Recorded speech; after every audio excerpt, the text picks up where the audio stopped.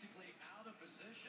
And Pierre Paul, as he's done all season long, with pure hustle, comes across the play, completely surprises Felix Jones, who never saw him coming from behind. This young man is